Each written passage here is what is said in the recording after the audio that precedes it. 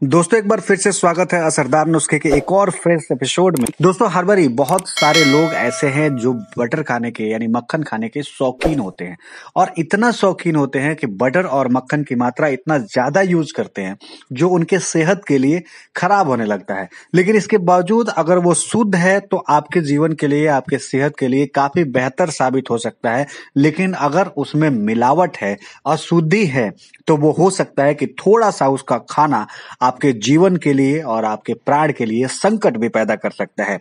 तो दोस्तों हम इस वीडियो में बात करेंगे और जानने की कोशिश करेंगे कि कौन से ऐसे तरीके हैं जिसका इस्तेमाल करके आप बटर की शुद्धता के बारे में जानकारी हासिल कर सकते हैं। आज इस वीडियो में मैं तीन ऐसे स्टेप के बारे में बात करूँगा, जिस तीन स्टेप से आप जो है बटर की शुद्धता को ना सिर्फ़ प्रमाणित कर सकते हैं, बल्कि आप जो है खाने से पहले उसे ट्राई करके आप बेहतर से बेहतर बेहतर से बेहतर सेहत जो है वो बना सकते हैं, रख सकते हैं।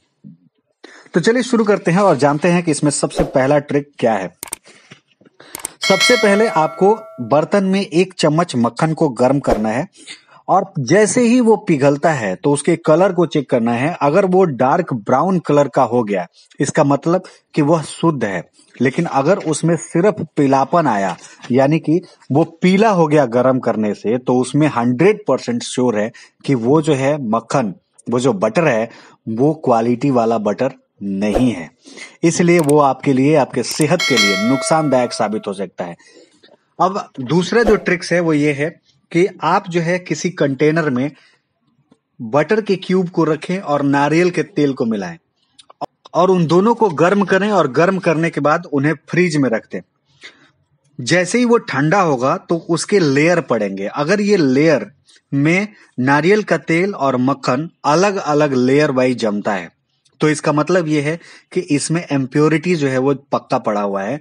अगर ऐसा नहीं होता, शुद्ध बटर होता तो वो नारियल के तेल में मिक्स हो जाता। और जैसे मिक्स हो जाता तो आपको लेयर बाय लेयर उसका डिज़ाइन जो है वो देखने को नहीं मिलता। अगर ऐसा हो रहा है तो इसका मतलब ये है कि आपका नारियल का जो, आपका जो बटर है, वो प्योर नहीं है। के बाद बात करते हैं तीसरे और आखिरी सबसे बेहतर ट्रिक्स की।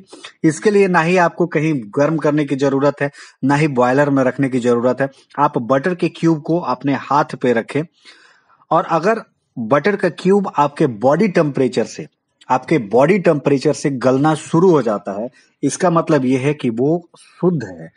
अगर उसमें इम्प्योरिटी रहेगी तो वो आपके बॉडी टेम्परेचर से कभी भी पिघलेगा नहीं। सो अगर आप बटर के शौकीन हैं और आप जो है इसका इस्तेमाल करते हैं तो इन तीनों में से किसी एक मेथड को ज़रूर ट्राई करिए खाने से पहले, क्योंकि अशुद्धता कहीं ना कहीं आपके बॉडी के लिए, आपके हेल्थ के लिए बहुत बड़ी प्रॉब्लम खड़ी कर सकती है। तो दोस्तों, कैसा लगा ये वीडियो अगर आपको ये वीडियो पसंद आया तो लाइक कीजिए शेयर कीजिए और सब्सक्राइब कर लीजिए इस चैनल को, ताकि इसी तरह के इन्फॉर्मेशन सबसे पहले आपको भेज दिया जाए और आप जो है उसे एंजॉय कर सके। तो दोस्तों, धन्यवाद।